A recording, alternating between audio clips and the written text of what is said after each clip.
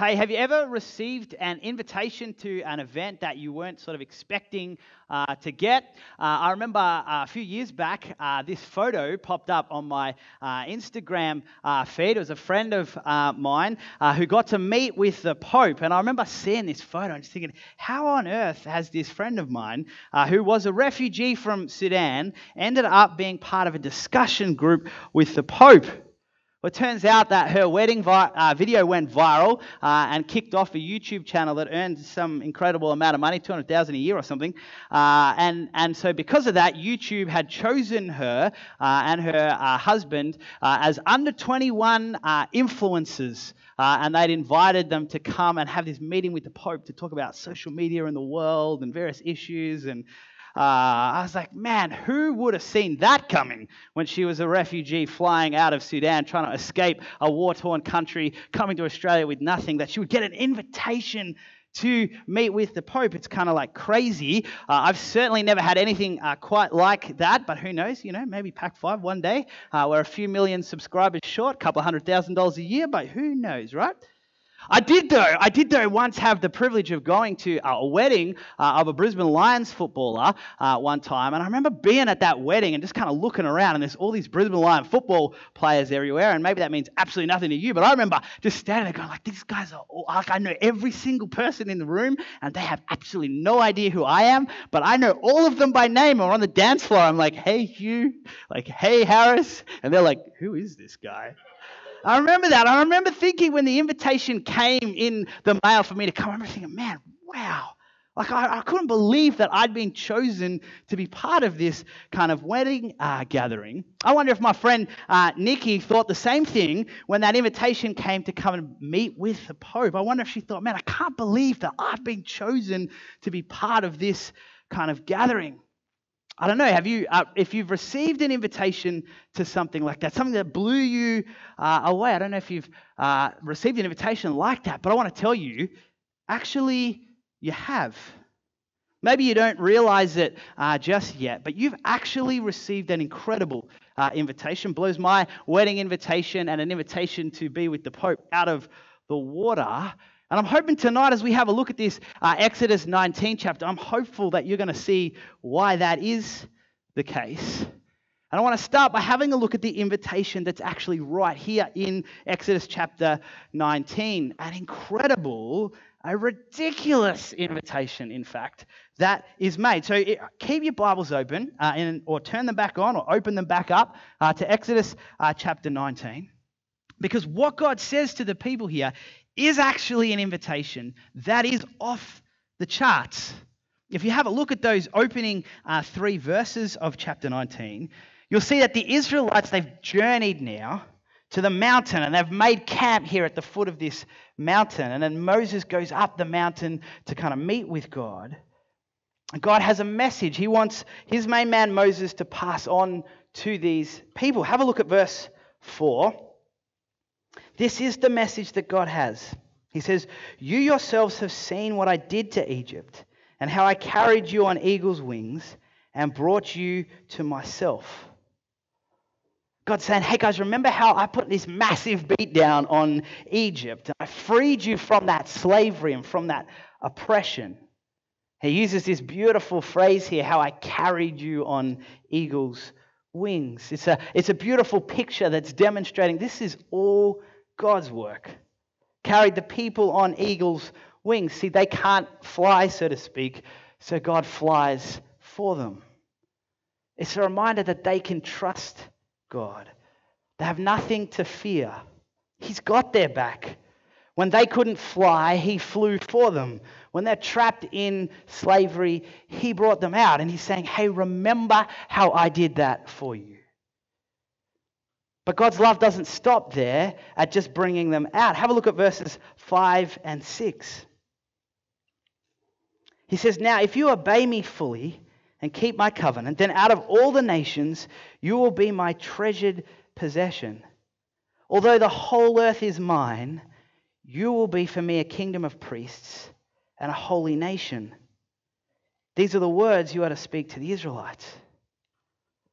What an incredible invitation God is making there. Out of all the nations, out of all the people groups on earth, you, Israel, I've chosen you. I'm inviting you to be my treasured possession. The creator of the whole universe, the one to whom everything belongs, is putting down an invitation for these people to be what is most treasured to him. Man, talk about an invitation, right? Dear Mr. and Mrs. Israel, you've been invited to be part of the kingdom of God. You don't need to bring a gift. I just want you. And in return, I ask that you trust me and follow what I say. See, obedience there, as uh, is God talks about, it's simply the act of trust that the one who made the invitation in the first place wants what's best for them. It doesn't get more incredible than that, really, does it? And then they respond exactly how you'd expect a group of people receiving an incredible invitation to respond. Have a look at uh, verse 7 of chapter 19. It's because Moses, he goes back to the people and he summons the elders, and then the people all respond together in verse 8 We will do everything the Lord has said. And Moses brings that answer to the Lord. We'll do everything you say, God. After that invitation, they're like a, a starry eyed girl looking down at the man proposing a thousand times yes. We'll trust you, God. We'll do everything you say. A thousand times yes. What an invitation. You know that uh, scene in the movie? Maybe you've even seen it play out in uh, real life, but that school bully or that class rat bag is getting called out for doing the wrong thing, and they stand there and they're like, Yes, miss, I will definitely improve my behavior. I'll change what I do. And you're sitting there and you kind of know that is the most bogus response ever. They haven't changed. You know nothing different is going to happen. They're just saying that in the moment. Well, I actually reckon that's not too dissimilar to what's going on right here for the Israelites before God. See, in another book in the Bible, a book called Ezekiel, it comes a, a little bit later on in the life of these uh, Israelite people. We get a bit of a fresh insight looking back at this Exodus moment. In Ezekiel, God is speaking to people many years later, and he's reminding them of what's happened here in the book of Exodus. And in Ezekiel, we actually learn that back in Egypt, the Israelites had adopted all these idols. They'd taken on all these idols from Egypt. And God had asked them, hey, get rid of those idols. I want you to get rid of those idols. But we read in Ezekiel that they don't. God says they rebel and they keep their idols. And it's pretty safe to assume that right now, here at the mountain, with no evidence to the contrary, and what goes on in Ezekiel, that they still have those idols with them. And in fact, in a few more chapters' time, we're going to see they're going to make a whole new idol to worship. Here they are saying, Yes, Lord, a thousand times yes, we'll follow you. What a load of rubbish. They haven't changed. The starry eyed girlfriend saying a thousand times yes is more like a girl with her other boyfriend waiting in the car at home for when she arrives. That's more like what's going on here. And God knows that. He knows they're never going to keep up their end of the bargain to obey Him fully. Not even for one minute, because the idols, they already still have them. But here's the thing it changes nothing for God. Even though He knows they're never going to do what they promise, he chooses to love them anyway. He chooses to rescue them and then make this incredible invitation, even while they hold on to idols that make a mockery of him. Now, I don't want you to miss how incredible this is. Because what comes next in the story of Exodus is that God comes down. We saw that in the Ron video and there's thunder and there's lightning and there's the sound of trumpets. It's an incredible moment where the difference between a perfect God and sinful people is on display.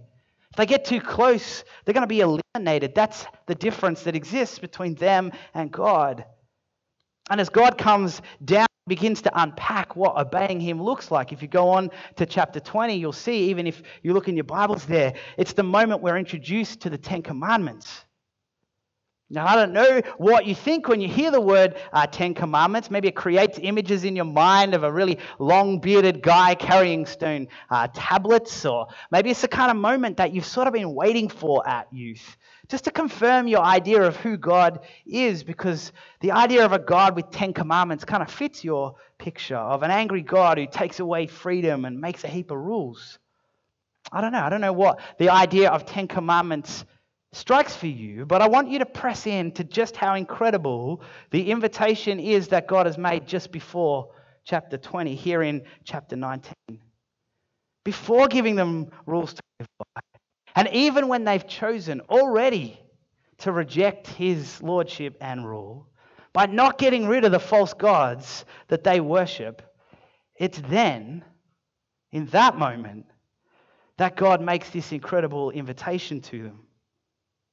See how important it is to know that? See, the God of the Bible, He's not an angry God. Far from it. He's not an angry, freedom restricting God who's just about rules and punishment.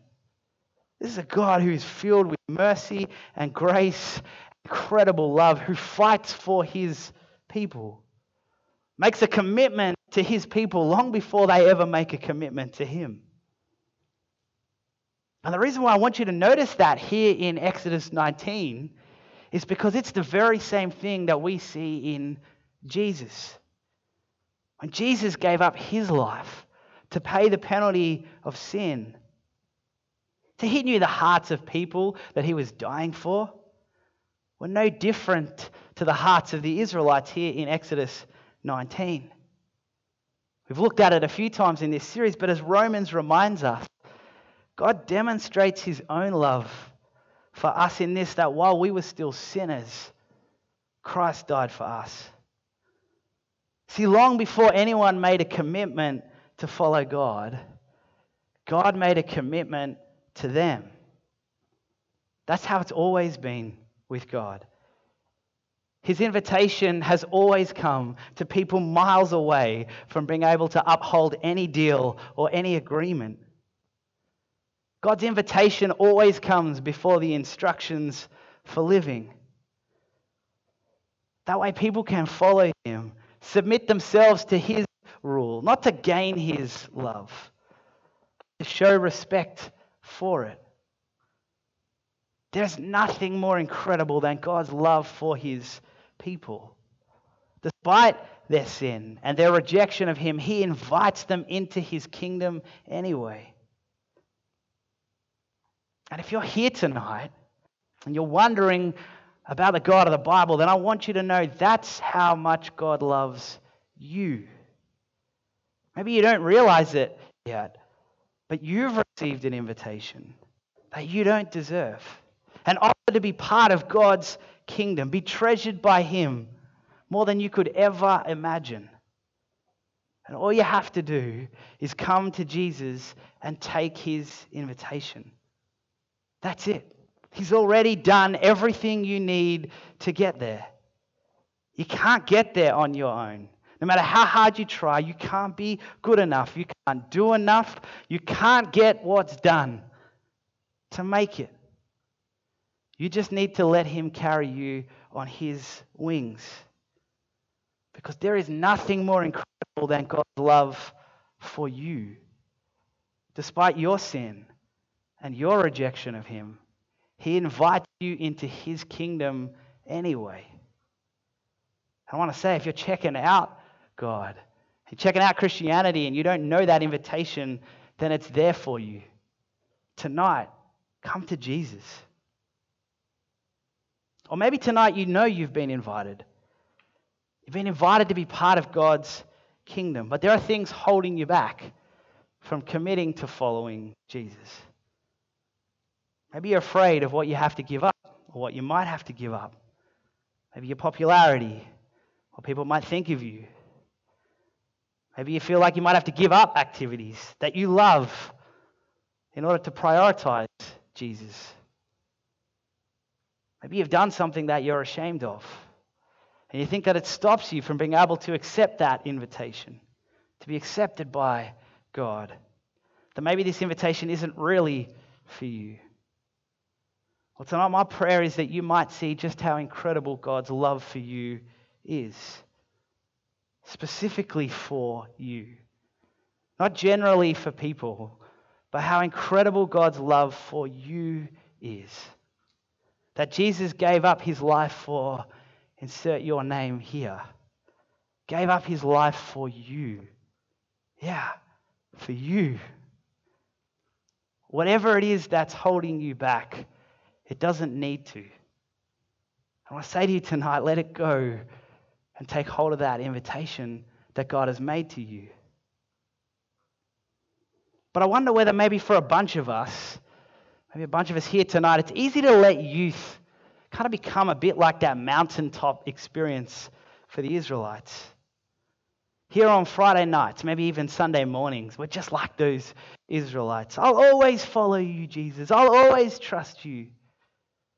But home in our tents are the idols of our lives that we refuse to get rid of. Happy to promise the world to Jesus on a Friday night, but not willing to give up fitting in on a Monday.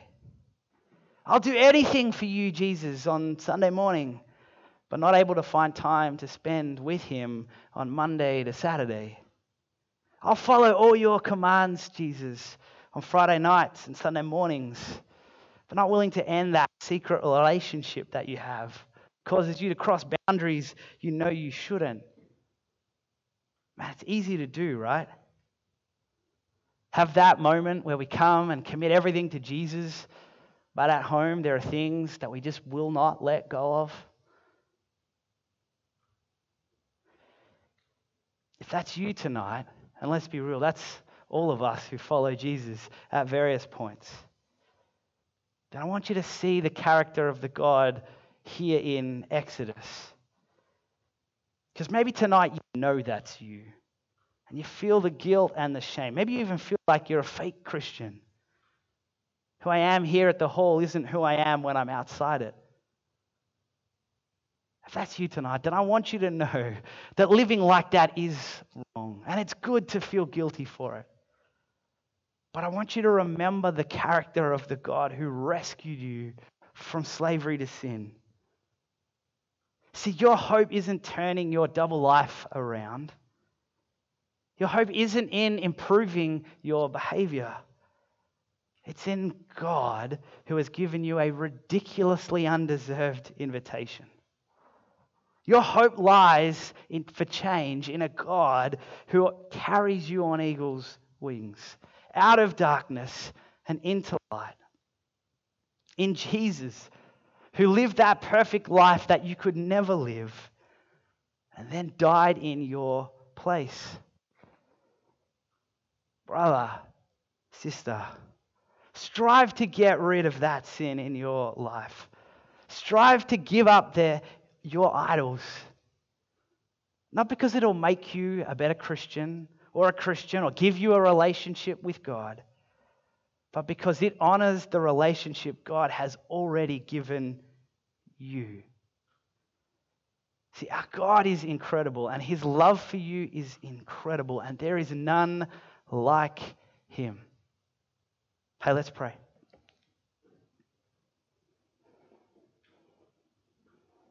Father God, your love for us in Jesus is incredible. There is nothing like it. That you would invite sinful, broken people like us who reject you, who don't want to have anything to do with you, who choose other things over you. And yet you love us anyway. And make an invitation for us to be part of your kingdom despite our rejection of you. There is nothing like your love, Lord. Help us to see that. Help us to know that. For those here tonight who are yet to discover that incredible truth, would you help them to see how much you love them?